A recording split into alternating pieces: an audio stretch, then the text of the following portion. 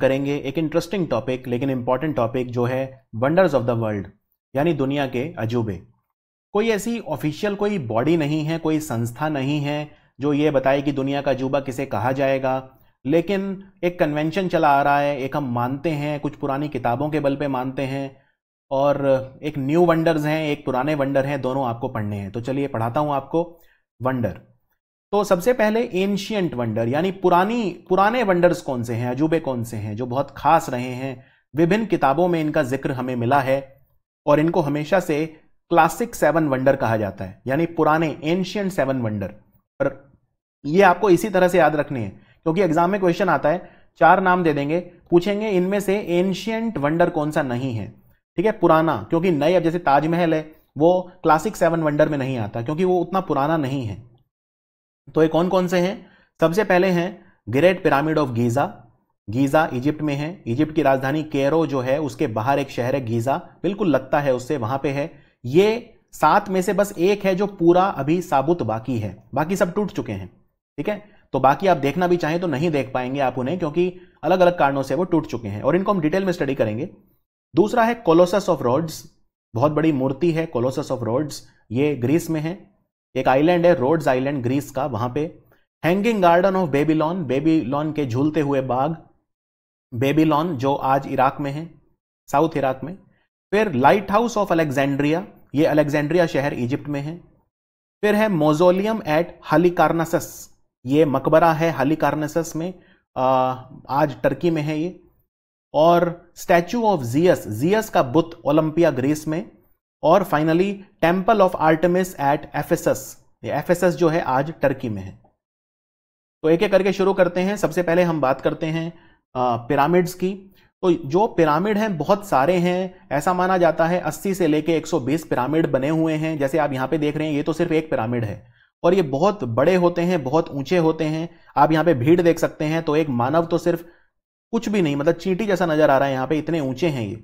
उस जमाने में कैसे बनाए होंगे, इतने भारी भारी पत्थर रख के, इस तरह की शेप दी गई है, इनकी मिस्ट्री आज तक समझ में नहीं आई है। इनमें कई बार ममीज को भी रखा गया है। इजिप्ट के जो लोग हैं, वो ये मानते हैं कि मरने के बाद भी जीवन होता है और इसीलिए वो जब व्यक्ति मरता था तो उसके साथ बहुत सारा सामान रखते थे।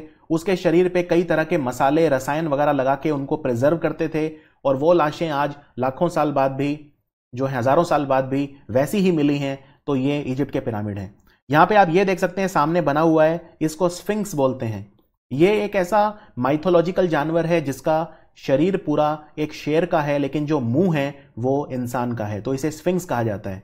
ये जो पिरामिड बनवाए थे इजिप्ट के राजाओं ने बनवाए थे जिन्हें हम फेरोज बोलते थे। ठीक है? फरोज बोलते थे। इजिप्ट में जो राजा रा, राज करते थे ये उनके मकबरे हैं। और इन पिरामिड में, जो मैंने आपको बताया 80 से लेके 120 पिरामिड हैं, उनमें जो सबसे अच्छा सबसे इंपॉर्टेंट जो अजूबा है वास्तव में, वो है ग्रेट पिरामिड ऑफ़ गीजा ये है ग्रेट पिरामिड ऑफ़ गीजा और ग्रेट पिरामिड ऑफ़ गीजा जो है, ये आज पूरा का पूरा साबुत है, आप इसे जाके देख सकते हैं। इजिप्ट की जो राजधानी है केरो ये उसके बाहर है और ये बहुत बड़े बड़े मकबरे हैं फराओ राजा के। ये लाइमस्टोन के बने हैं मेनली लेकिन इनमें मोर्टार और ग्रेनाइट का इस्तेमाल भी हुआ है। जो एक एंशियंट ग्रीक हिस्टोरियन थे, एक यूनान के इतिहासकार थे हेरोडोटस यहाँ पे आप हेरोडोटस की फ़ोटो देख सकते हैं। उन्होंने अपनी किताब में जो पांचवी शताब्दी ईसा पूर्व में लिखी थी, उन्होंने इजिप्ट के पिरामिड का ज़िक्र किया और उन्होंने उनको एक अजूबा कहा था। और ये वो माइथोलॉजिकल क्रीचर है, जिसका जो शरीर है वो शेर का है, लेकिन मुँह इंसान का है और पंख भी है इसके पक्षी की तरह तो ये एक माइथोलॉजिकल क्रीचर है। माइथोलॉजिकल क्रीचर मतलब होता है माइथोलॉजी मतलब क्या होता है? माइथोलॉजी और हिस्ट्री में क्या फ़र्क होता है? माइथोलॉजी बोलते हैं पौराणिक कहानियों को। पौराणिक कहानियाँ वो हैं जो हम ओरल ट्रेडिशन में सुनते आ रहे हैं, जिनका कोई प्रूफ नहीं है, जिनको बहुत ज़्यादा प्रूव नहीं किया जा सकता। हम उनको मानते हैं, हमारी मानता है या हमारी उनसे आस्था जुड़ी है। जैसे मैं एक उदाहरण देता हूँ। जैसे चाइना के जो लोग हैं, वो मानते हैं कि ड्रैगन्स हुआ करते थे। एक ऐसे उड़ने वाले पक्षी हुआ करते थे, जिनके मुँह से आग निकला करती थी, और वो उसकी पूजा करते हैं। ड्रैगन्स की पूजा चाइना में बहुत ज़्यादा होती है, वहाँ के लोग मानते हैं। लेकिन इस इस बात के कोई प्रमाण नहीं है, कोई प्रूफ नहीं है, कोई जीवाश्म नहीं मिले हैं इनके, राइट? तो इसको ये नहीं कहा जा सकता कि ये हिस्ट्री है, क्योंकि हिस्ट्री उसे बोलते हैं, जब माइथोलॉजी के साथ प्रूफ आ जाता है प्रॉपर तो उसे हम इतिहास बोलते हैं। समझ में आया? तो एक चीज़ होती है जिसे हम ओरल ट्रेडिशन बोलते हैं। ओरल ट्रेडिशन मतलब जैसे एक समय था जब लिखावट थी ही नहीं। बहुत पहले भोजपत्र पे लिखा करते थे। फूल, जो पत्तियाँ आती हैं फूलों के साथ, पत्तियों के ऊपर बड़े बड़े भोजपत्र थे, उन पे लिखा करते थे। तब इतनी लिखावट नहीं होती थी। तो जब लिखावट ही नहीं होगी तो एक पीढ़ी से दूसरी पीढ़ी तक संदेश कैसे जाएगा? राइट तो वो ओरल ट्रेडिशन में, बातों से। राइट दादा ने फादर को बताया फादर ने बेटे को बताया, बेटे ने फिर अपने बेटे को बताया। इसको ओरल ट्रेडिशन कहा जाता था। तो बहुत सारी हमारी पौराणिक कहानियाँ हैं वो आ, वो ओरल ट्रेडिशन में चलती हैं और उनमें बहुत सारे बदलाव भी समय के साथ देखने को मिलते हैं उनमें बहुत सारी बायसेस भी हैं जैसे हिस्ट्री में है। तो ये फ़र्क होता है माइथोलॉजी में और हिस्ट्री में। तो ये माइथोलॉजिकल क्रीचर है एक अभी असली में था नहीं था कोई ऐसा एक कोई ऐसा एक पक्षी या क्या इसको क्या कहेंगे जिसके पंख पक्षी के हैं शरीर शेर का है और जो मुँह है वो ह्यूमन बींग का है लेकिन पुरानी कहानियों में है, इजिप्ट के लोग मानते हैं, पूजा करते हैं, सब कुछ होता है। तो ये है ग्रेट पिरामिड ऑफ़ गीजा तो ग्रेट पिरामिड ऑफ़ गीजा जो है, ये सबसे बड़ा और सबसे पुराना है। जितने भी पिरामिड हैं, उनमें सबसे पिरामिड कॉम्प्लेक्स है, वहाँ पे बहुत सारे पिरामिड हैं, उनमें सबसे बड़ा और सबसे पुराना है ग्रेट पिरामिड ऑफ़ गीजा ये seven wonder of the ancient world में आता है और ये पूरा साबुत आज भी है। और ये एकमात्र है, सात में से, सात अजूबों में से जो आज भी है। बाकी छह टूट चुके हैं।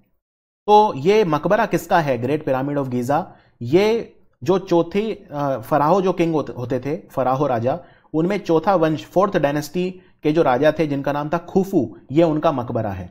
ये उनका मकबरा है जो माना जाता है कि 26वीं शताब्दी ईसा पूर्व में कहीं ना कहीं बनाया गया होगा। समझ में आया? तो ये था पहला अजूबा। अब बात करते हैं कोलोसस ऑफ़ रोड्स एक एक टापू है, एक द्वीप है रोड्स ग्रीक में ग्रीस में वहाँ ये ओरिजिनल फ़ोटो नहीं है ये एक कहते हैं ना कि जो कहानियाँ सुनी उनके आधार पर बनाई हुई है। ऐसा माना जाता है कि आ, ऐसा माना जाता है कि जो ग्रीक सन गॉड हैं हेलियोस ठीक है? सूर्य देवता ग्रीक माइथोलॉजी में उनको हेलियोस बोलते थे तो उनका एक स्टैचू बना हुआ था तो ये वो स्टैचू है जो ऐसा माना जाता है कि हुआ करता था अभी ये ऑब्वियसली नहीं है और ये जो स्टैचू है ये कहीं ना कहीं 280 ईसा पूर्व के आसपास बनाया होगा, ऐसा माना जाता है। और ये बनाया इसलिए गया था क्योंकि रोड जो शहर है, जो द्वीप है, उस पर कई बार आक्रमण हुआ, लेकिन जो ग्रीक सन गॉड हैं, हेलियोस, उनकी कृपा से कोई भी उसे जीत नहीं पाया। और ये स्टैचू 33 मीटर ऊँचा था और ये 226 बीसी में एक अर्थक्वेक आया, भूकंप आया, उसमें टूट के ढह गया। तो ये है कोलोसस ऑफ़ रोड तो एग्ज़ाम में क्वेश्चन आए कोलोसस ऑफ़ रोड्स है क्या? तो बेसिकली ये एक स्टैचू है। किसका स्टैचू है? हेलियोस का, जो ग्रीक सन गॉड है। अब बात करते हैं hanging gardens of Babylon Babylon जो है, इराक में है। आज हम देखें, जो इराक की बात करते हैं, वहाँ पे हैं hanging gardens of Babylon again इनके बारे में कुछ पता नहीं है, किसी ने देखे नहीं हैं लेकिन ओरल ट्रेडिशन में माना जाता है कि ये हुआ करते थे। झूलते हुए गार्डन कुछ ऐसे, इसका मतलब हैंगिंग का यहाँ पे ऐसा नहीं है कि झूल रहे हैं वो हवा में, ऐसा नहीं है। इसका मतलब ये है कि ये इस तरह के गार्डन थे जिनमें जो पेड़ हैं वो काफ़ी ऊंचाई पर लगाए गए थे। मैं आपको दिखाता हूँ। अगेन ये पेंटिंग्स हैं पुराने जमाने की जिनमें हैंगिंग गार्डन किस तरह के हो सकते थे, उसका वर्णन है, लेकिन वास्तव में हैंगिंग गार्डन थे, नहीं थे, कोई नहीं जानता। ये सिर्फ़ एक माइथोलॉजिकल टेल है। और यहाँ पे देख सकते हैं, ये पेंटिंग एक है, इसमें दिखाए हुए हैं कि पेड़ जो हैं बिल्डिंग्स के अंदर लगे हुए थे। कितनी ऊंचाई पे पेड़ लगे हुए थे तो इस तरह के गार्डन हुआ करते थे। कई बार उनमें अप्सराएँ और जैसे हमारे धर्म में होता है ना, अप्सराएँ, उसी तरह से वहाँ पे बहुत खूबसूरत जो वुमेन है, वो दिखाई गई हैं इन गार्डन्स में। और यहाँ पे आप पीछे देखिए, इस पेंटिंग में एक टावर दिखाई गई है, जिसको बोलते हैं tower of Babel tower of Babel तो टावर ऑफ़ बेबल क्या है, इसके बारे में मैं आपको बता देता हूँ। इसका जो ज़िक्र है, ये ईसाई धर्म में होता है, और बेबल की टावर बोलते हैं B A B E L Babel जैसा कि आप देख सकते हैं, यहाँ पे ये भगवान ईसा मसीहा हैं, नीचे अपने जो फॉलोअर्स हैं, उनके साथ यहाँ पे खड़े हैं। तो टावर ऑफ़ बेबल ऐसा माना जाता है ईसाई धर्म में कई जगह पर कि ये एक ऐसी टावर थी जिसका जो ऊपर का सबसे फ्लोर है वो स्वर्ग में था। ठीक है? यानी अगेन ये अब पता नहीं असली में टावर कोई ऐसा था, नहीं था, लेकिन ऐसा माना जाता है कि ये जो टावर है, ये इतनी ऊँची थी कि धरती से स्वर्ग तक जाती थी। तो इसका आप देख सकते हैं, सबसे ऊपर वाला जो फ्लोर है, ये टूटा हुआ है और ये जो है स्वर्ग में है सबसे ऊपर वाला फ्लोर। तो आप धरती से स्वर्ग तक जा सकते हैं आप भगवान ईसा मसीहा का जो आ, संदेश है उसको मान के जा सकते हैं लेकिन भगवान ईसा मसीहा ने एक शर्त रखी। वो शर्त ये थी कि जिस दिन दुनिया के सारे लोग एक ही ज़ुबान बोलेंगे एक ही लैंग्वेज बोलेंगे उस दिन वो इस टावर को दोबारा बना सकते हैं और वो स्वर्ग तक जा सकते हैं। इस तरह के कई लोग मानते हैं। अब कहना मुश्किल है कि ऐसी कोई टावर असली में थी या नहीं थी लेकिन तो हैंगिंग गार्डन के बारे में काफ़ी सारी पौराणिक कहानियाँ हैं बहुत सारी मैंने खुद पढ़ी हैं मैंने मतलब बहुत ज़्यादा आप मेरे को लगता नहीं आप मानेंगे कि ऐसे गार्डन हुआ करते थे कोई लेकिन आ, ये आपको एग्ज़ाम के लिए याद रखना है हैंगिंग गार्डन ये इराक में जैसे हम आज इराक बोलते हैं वहाँ पे किसी समय हुआ करते थे। और हैंगिंग का मतलब ये है कि जो पेड़ हैं वो काफ़ी ऊंचाई पे जैसे छत वगैरह पे छज्जा जिसे बोलते हैं वो सब पे लगे हुए थे। चलिए, अब बढ़ते हैं आगे। तीसरा जो हम पढ़े, बल्कि चौथा जो हम पढ़ेंगे, वो है लाइट हाउस ऑफ़ अलेक्जेंड्रिया जिसे फरोज ऑफ़ अलेक्जेंड्रिया भी बोलते हैं। यह भी टूट चुका है, धरती भूकंप आया था, तभी एक दह गया था तो ये थ्री डी रिकंस्ट्रक्शन है। यानी कैसा हुआ होगा, ये कंप्यूटर से बनाया हुआ है, ये असली में नहीं है, क्योंकि वहाँ कुछ नहीं है। लाइट हाउस क्या होता है? लाइट हाउस एक इमारत होती है जो काफ़ी ऊँची होती है, इसके सबसे ऊपर से लाइट निकलती है, और ये लाइट जो जहाज़ होते हैं, उन्हें रास्ता दिखाती है रात के समय में। अब लाइट हाउस वैसे हर जगह होते हैं, लेकिन खास तौर पे जब जहाज़ तट के नज़दीक आता है तो वहाँ पे लाइट हाउस उसे रास्ता दिखाता है, क्योंकि तट के पास जब वो आता है तो पानी का जो स्तर है वो काफ़ी कम हो जाता है तो जहाज़ के फंसने के चांस हो जाते हैं। तो लाइट हाउस नेविगेशन में मदद करते हैं। तो ये मानते हैं कि इतना ऊँचा लाइट हाउस था कि ये 100 मीटर कम से कम ऊँचा रहा होगा। और ये अलेक्जेंड्रिया शहर में था जो अलेक्जेंड्रिया आप जानते हैं कहाँ है, ठीक है? तो ये है लाइट हाउस ऑफ़ अलेक्जेंड्रिया या फरोज ऑफ़ अलेक्जेंड्रिया इसे बोला जाता है। अब बात करते हैं मोजोलियम एट हाली कार्नेसस या टॉम ऑफ़ मोजोलस ये मोजोलियम बोलते हैं मकबरे को, जो टॉम या मकबरा ठीक है, मकबरा। ये तीन सौ तिरपन और 350 ईसा पूर्व के बीच में कहीं बना होगा और ये हाली कार्नेसस में बना था जो आज टर्की में है, ठीक है, टर्की में है। तो ये 45 मीटर ऊँचा था और ये चारों तरफ़ से बहुत बड़े बड़े इसमें पिलर लगे हुए थे, खंबे लगे हुए थे, लेकिन ये भी भूकंप आया और ये बारहवीं से पंद्रहवीं शताब्दी के बीच ढह गया। मैं आपको दिखाता हूँ ये कैसा था मकबरा। यहाँ पे आप देख सकते हैं, ये काफ़ी ऊंचाई पे है ये इसका असली डायग्राम नहीं है और ये विभिन्न पेंटिंग्स वगैरह में ज़िक्र है इसका। ये थ्री रिकंस्ट्रक्शन किया हुआ है कंप्यूटर की मदद से। ये ज़मीन से काफ़ी ऊँचा था और यहाँ पे आप देख सकते हैं खंबे लगे हैं चारों तरफ़ बहुत सारे चारों तरफ़ और यहाँ पे मकबरा एक आ, माना जाता है कि मकबरा होता था।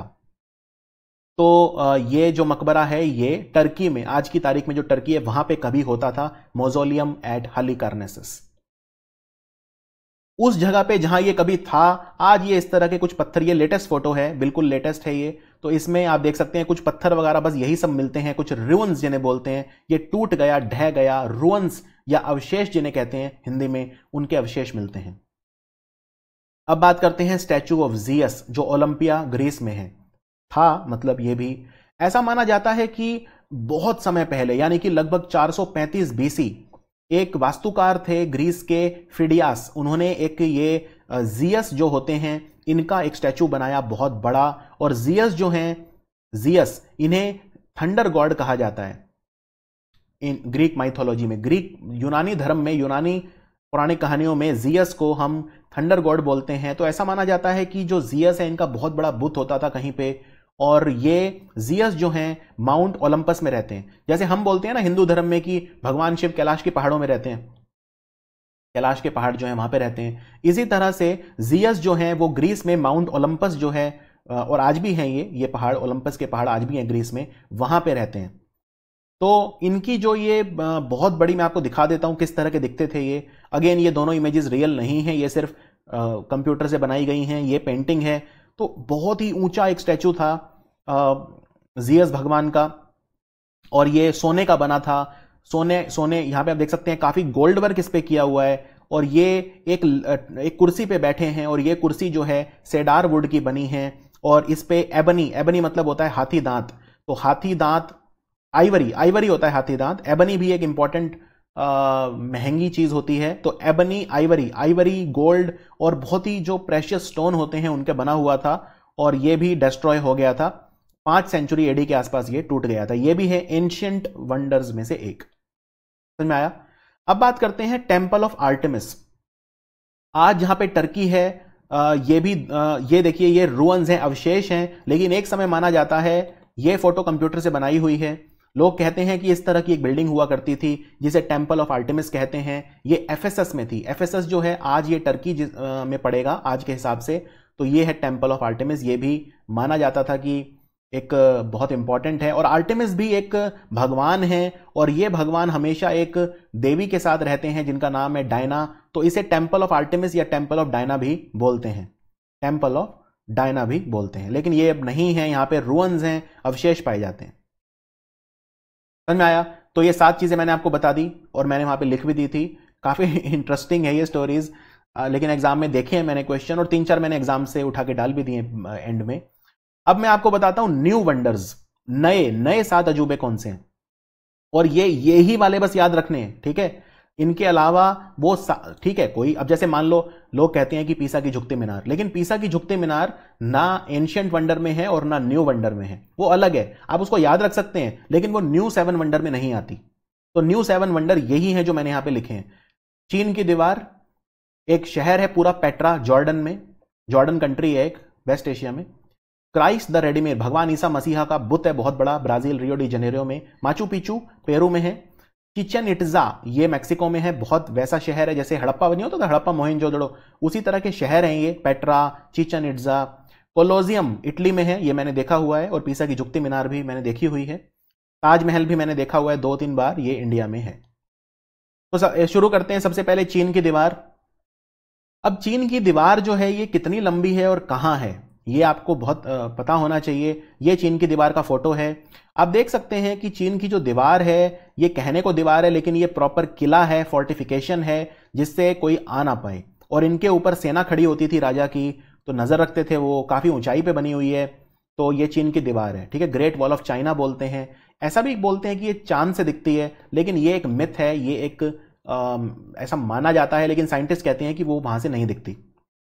तो ये जो दीवारें हैं अलग अलग राजाओं ने बनवाई, ये सातवीं शताब्दी बीसी में बननी स्टार्ट हुई, फिर बहुत सारे और राजा हैं, जैसे किन शी हुआंग, और उन्होंने, ये पहले एम्पर थे चाइना के, किन शी हुआंग, उन्होंने भी बनवाई। बाद में और भी आए जिन्होंने मिंग डायनेस्टी वगैरह में भी बनवाई, तेरह से सोलह तक लगातार इसका निर्माण चलता रहा। तो यूरेशिया, यूरोप और एशिया पहले एक, हम मिला के बोलते थे यूरेशिया, वहाँ पे घास के मैदान है, टेम्परेट ग्रासलैंड है, जिन्हें स्टेपीज बोलते हैं। वहाँ पे बहुत सारे आदिवासी लोग थे, वो घुस आते थे चाइना में तो चीन के राजाओं ने उनको दूर रखने के लिए बनवाई। ऐसा भी माना जाता है। तो इसके कई पर्पज थे। चीन की दीवार का पहला काम था डिफेंस रक्षा करना। फिर बॉर्डर की तरह काम करती थी। इसके ऊपर तोप वगैरह रखी जाती थी, बंदूकें रखी जाती थी गैरिसन स्टेशन सिग्नलिंग कैपेबिलिटी आप इस पर खड़े होकर सिग्नल कर सकते हो। तो बहुत सारी चीज़ जो है, उनके लिए इसका इस्तेमाल किया जाता था। तो चीन की दीवार कहाँ है? यहाँ पे देखिए।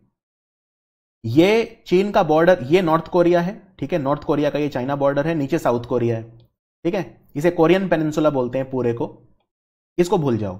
लेकिन चीन का ये बॉर्डर है, इतना बड़ा बॉर्डर चीन का है, ये पूरा, ये मंगोलिया है, ये मंगोलिया है कंट्री लेकिन चीन का बॉर्डर रशिया से लगता है। तो चीन का बॉर्डर रशिया के साथ कहाँ है? यहाँ। ये बॉर्डर जो मैं दिखा रहा हूँ, ये बॉर्डर जो है चीन का रशिया के साथ है। और यहाँ पे एक शहर है, रशिया का जिसे बोलते हैं वलादी वोस्तोक वलादी वोस्तोक ठीक है? तो यहाँ से लेके ये स्टार्ट हो रही है बलादी वोस्तोक के पास से चीन की दीवार और वलादी वोस्तोक के पास मतलब चाइना, रशिया जो बॉर्डर है, वहाँ से स्टार्ट हो रही है नॉर्थ में, और ये दक्षिण की तरफ़ आती है पूरी, और ये यहाँ पे एक नदी बहती है जिसको बोलते हैं ताओ नदी। तो ताओ नदी जो है एकदम सेंट्रल चाइना में इतनी लंबी दीवार है। ये आपको ऐसा लग रहा होगा छोटी सी लेकिन ये चाइना है और चाइना का आधा आधा मान लीजिए आप इसे, इतनी लंबी है, ये बीस हज़ार किलोमीटर लंबी दीवार है। मैं ये नहीं कह रहा कि यहाँ से लेके यहाँ तक ये बीस हज़ार किलोमीटर है, ये होगा कुछ पच्चीस सौ किलोमीटर होगा कुछ, लेकिन वो घूमती हुई दीवार है, जैसे यहाँ ऐसे, फिर ऐसे ऐसे करके तो पूरी जो दीवार हो जाती है वो लगभग बीस हज़ार किलोमीटर लंबी दीवार है। तो सोचिए, बीस हज़ार किलोमीटर लंबी दीवार का क्या मतलब है, आप समझ सकते हैं। तो ये दीवार है ग्रेट वॉल ऑफ़ चाइना और जैसा कि आप देख सकते हैं, अगर मैं इस दीवार को गाढ़ा कर दूँ, ये दीवार में बना रहा हूँ तो ये ऊपर, ये जो एरिया है, यहाँ पे घास के मैदान है, जिन्हें स्टेपीज कहा जाता है ये ईस्टर्न पार्ट ऑफ़ स्टेपीज हैं, पूरे यूक्रेन वगैरह से आगे फिर वो वेस्टर्न स्टेपीज आ जाते हैं। टेम्परेट ग्रासलैंड है। टेम्परेट ग्रासलैंड क्या है, ये मैं डिटेल में आपको पढ़ा चुका हूँ। तो ये उनमें जो नोमेडिक लोग थे, आदिवासी लोग जो अपना खाना वगैरह नहीं बनाते, एक जगह से दूसरी जगह विचरण करते हैं, उनको दूर रखने के लिए बनाई हुई थी। समझ में आया? अब बात करते हैं दूसरी जगह जो वंडर है, वो है शहर पेट्रा। पेट्रा कहाँ है, दिखाता हूँ मैप पे। ये हमारा मध्य पूर्व है। ठीक है? ये सऊदी अरब है, सऊदी अरब का ये पड़ोसी जॉर्डन, और ये जो आप नीचे देख रहे हैं, ये है gulf of Aqaba. Gulf of Aqaba क्या होती है? गल्फ ऑफ़ अकाबा ये होती है, यहाँ पे देखो, ये रेड सी है ना, लाल सागर, ये अफ्रीका को वेस्ट एशिया से जुदा जुदा करता है तो ये आगे दो पानी के स्रोत ऐसे जा रहे हैं। ये ऐसे है, जैसे ये रेड सी है, एक ऐसे और एक ऐसे। ये वाला तो सुज कनाल है, जो मतलब गल्फ ऑफ़ सुअज है, यहीं से सुज कनाल जाती है, ऐसे। लेकिन जो राइट वाला है राइट वाला ये ये है गल्फ ऑफ़ अकाबा तो ये गल्फ ऑफ़ अकाबा यहाँ पे है। और ये जो आप जगह देख रहे हैं वाटर बॉडी इसको बोलते हैं डेड सी यानी मृत सागर। इसमें नमक बहुत ज़्यादा है तो लोग डूबते नहीं है। डेड सी बोलते हैं। इसमें यह भी कहा जाता है लहरें बहुत तेज नहीं है। खैर, जो भी है, ये डेड सी है, ठीक है? तो डेड सी से लेके और यहाँ नीचे गल्फ ऑफ़ अकाबा तक, एक बहुत बड़ा शहर है जिसको पेट्रा बोलते हैं। तो वो जॉर्डन देश है, वहाँ पे है पेट्रा शहर और ये डेड सी से लेके गल्फ ऑफ़ अकाबा तक जाता है साउथ जॉर्डन में। ऐसा माना जाता है कि यहाँ पे लोग सात हज़ार ईसा पूर्व उससे भी पहले से रहा करते थे, और ये जो लोग थे, इन्हें हम नबाटियंस बोलते थे। नबाटियन कुछ नहीं है, ये भी नोमैडिक पीपल हैं, एक जगह से दूसरी जगह जाने वाले अरब लोग हैं। नोमैड मतलब कौन होता है? नोमैड मतलब होता है जो एक जगह से दूसरी जगह विचरण करता रहे जो आदिवासी होते हैं, या जो एक जगह से दूसरी जगह लगातार जाते रहते हैं। शिफ्टिंग, कल्टीवेशन वगैरह करते हैं कई बार। ये सब लोग होते हैं नोमैडिक अरब, नोमैड्स। तो ये नबाटियंस बोलते थे। तो ये पेट्रा जो जगह है, आपको दिखा देता हूँ। बहुत ही खूबसूरत है। यहाँ पे देखिए नैरो पैसेजेस भी हैं। ये एम्फी थिएटर है। एम्फी थिएटर मतलब यहाँ पे स्टेडियम की तरह लोग बैठा करते थे यहाँ पे। एम्फी थिएटर भी यहाँ पे है। यहाँ पे ये पूरा शहर यहाँ पे आप देख सकते हैं। तो ये पेट्रा है और ये भी एक अजूबा है जॉर्डन में। अब हम बात करते हैं तीसरे नए अजूबे की। वो है क्राइस द रेडीमीर। ये स्टैचू है भगवान ईसा मसीहा का। आप देख सकते हैं कितना खूबसूरत है, कितना विशाल है ये। ये रियो डी जनेरियो शहर में है, जहाँ पे 2016 में ओलंपिक खेल खेले गए थे। और पहाड़ी के ऊपर है, बहुत दूर से दिखता है, लाखों लोग देखने आते हैं ब्राज़ील का, सबसे फ़ेमस जगह में से एक है, रियो डी जनेरियो। तो ये जो है बेसिकली एक आर्ट डेको स्टैचू है।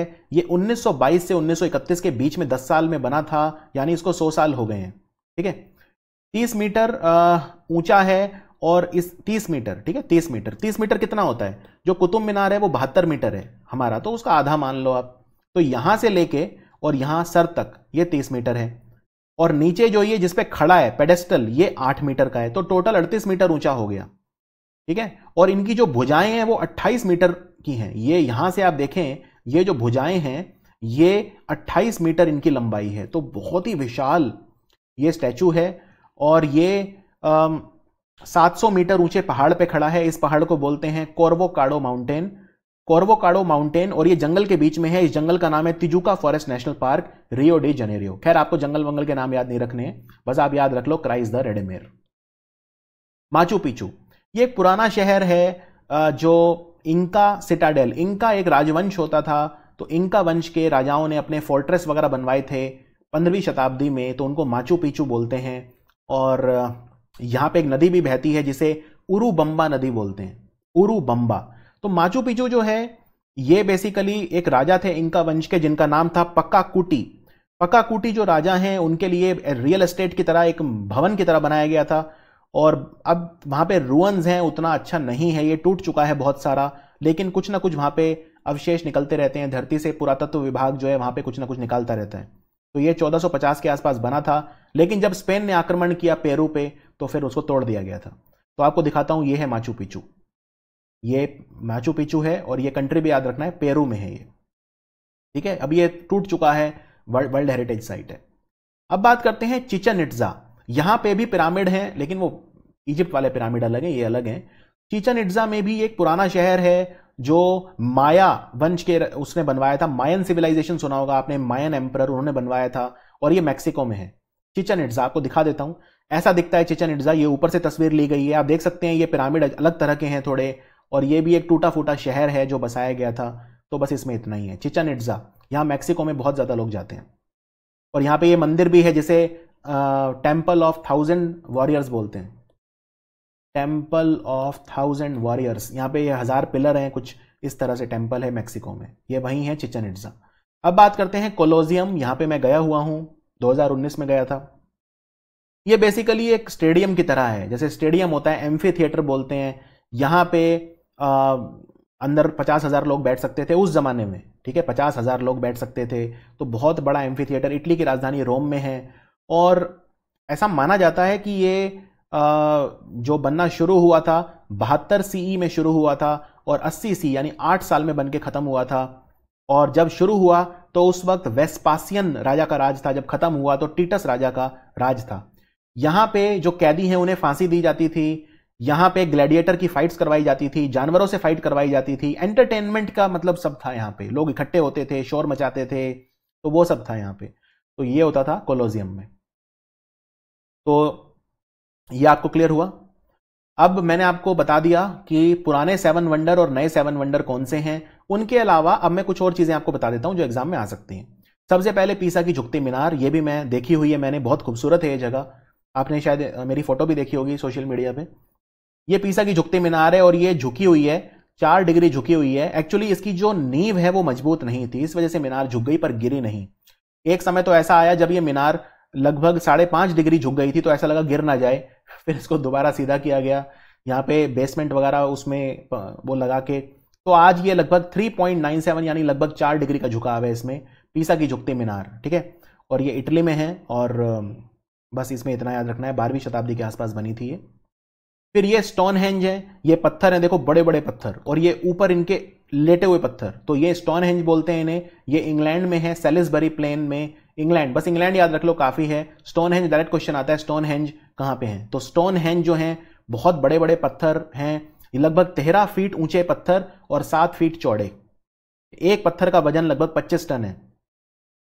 और ऊपर से हॉरिजॉन्टल पत्थर हैं जो इनको कनेक्ट करते हैं। यहाँ पे आप देख सकते हैं खड़े हुए पत्थर अलग हैं, वर्टिकल और ये हॉरिजॉन्टल भी हैं, इनके ऊपर रखे हुए। और ये सबसे फ़ेमस जगह है इंग्लैंड में देखने की, सबसे फ़ेमस में से एक। तो ये आपको बस इतना याद रखना है, इंग्लैंड में। फिर बागान बागान शहर, वर्ल्ड हेरिटेज साइट है, ये म्यांमार में है। ये बेसिकली क्या है, नौवीं से तेरहवीं शताब्दी के बीच म्यांमार में पगान राजा थे, उन्होंने बहुत सारे पगोड़ा बनवाए, बहुत सारे बुद्धिस्ट मंदिर, क्योंकि म्यांमार बुद्धिस्ट कंट्री है। तो वहाँ पे बुद्धिस्ट टेंपल बने, दस हज़ार पगोड़ा बने मोनेस्ट्रीज बने, और बाद में उनमें से लगभग 2200 बुद्धिस्ट टेंपल हैं जो आज भी बचे हुए हैं। कुछों के अवशेष हैं तो ये भी एक पुराना शहर है जो टूट चुका है बागान, लेकिन ये वर्ल्ड हेरिटेज साइट है, कई लोग इसे भी अजूबा मानते हैं। आप यहाँ पे फ़ोटो देख सकते हैं पेनोरेमिक फ़ोटो है तो इसमें आप देख सकते हैं, बहुत सारे यहाँ पे पगोड़ा मोनेस्ट्री और ये सब बने हुए हैं। तो कई लोग इसे म्यांमार में देखने जाते हैं। अब श्रीलंका में बात करते हैं, सिगिरिया या सिंहागिरी भी बोलते हैं। सिंहा मत, सिंह मतलब होता है शेर। तो शेर के पैरों के निशान है यहाँ पे। ये बेसिकली पैरों के निशान से मतलब शेर के पैरों की आकृति में एक एक घर बनवाया। एक राजा ने अपना बहुत प्रतापी राजा थे, राजा कश्यप। तो राजा कश्यप जो हैं, इन्होंने अपनी कैपिटल बनवाई, लेकिन ये कैपिटल कैसी थी? चट्टान के ऊपर। और यहाँ पे चढ़ के जाना होता है। और वहाँ पे जो गेट बना हुआ है, वो दो शेरों के पैर के बीच में से गेट बना हुआ है। मैं फ़ोटो दिखाता हूँ। ये देखो, ये कितनी ऊँची चट्टान है ज़मीन से। कितनी ऊँची चट्टान। इसके ऊपर राजधानी बसाई राजा ने अपनी तो ये बहुत देखने लायक चीज़ है, श्रीलंका में यूनेस्को वर्ल्ड हेरिटेज साइट है। और ये 470 से चार सौ एडी में बनी थी। यहाँ पे आप देख सकते हैं, ये शेर के पैरों के निशान के जो तरह, जिसे बोलते हैं पॉ ऑफ़ द लायन उसकी शेप में ये बनवाया हुआ है दरवाज़ा। ये देखिए, ये ऊपर जाने के लिए आपको यहाँ से सीढ़ियाँ चढ़नी पड़ेंगी, नीचे से पूरी सीढ़ियाँ। और जब आप गेट पे जाएँगे तो गेट में दोनों तरफ़ शेर के पैरों के निशान की शेप में आकृतियाँ बनवाई हुई हैं। यहाँ पे देखिए, यहाँ से आपको ऊपर चढ़ना होगा, बहुत सारी सीढ़ियाँ चढ़ के आप ऊपर पहुंचोगे। और जब ऊपर पहुंचोगे तो आपको ऐसा नज़ारा दिखेगा। ये ऊपर से फ़ोटो है, इस तरह से, रुअन्स हैं, अवशेष हैं अब तो। अब राजधानी कहाँ है? ये देखिए, ये एरोप्लेन से खींची हुई फ़ोटो है मतलब हेलीकॉप्टर वगैरह से, ड्रोन से। तो इसमें आप देख सकते हैं यहाँ पे ये बीच में एक पानी का स्रोत भी है, यहाँ पे कई सारी आकृतियाँ हैं, रहने के लिए एक महल टाइप है, टूटे हुए फोर्टिफिकेशन हैं, और चारों तरफ़ बहुत ज़्यादा नेचुरल ब्यूटी है तो बहुत फ़ेमस है ये जगह, सिंहागिरी, श्रीलंका में।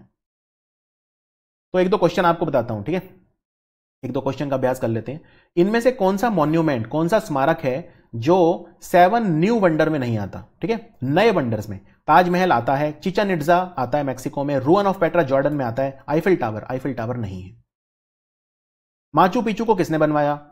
माचू पिचू कहाँ है? माचू पिचू पेरू में है और इसको बनवाया पाका क्यूटेक। पाका क्यूटेक राजा ने। जो हेलीकार्नेसस का मोजोलियम है वो क्या है? क्या वो मकबरा है? क्या वो लाइट हाउस है? क्या वो बुत है या वो गार्डन है? क्या है भाई मोजोलियम? मोजोलियम का मतलब ही होता है मकबरा।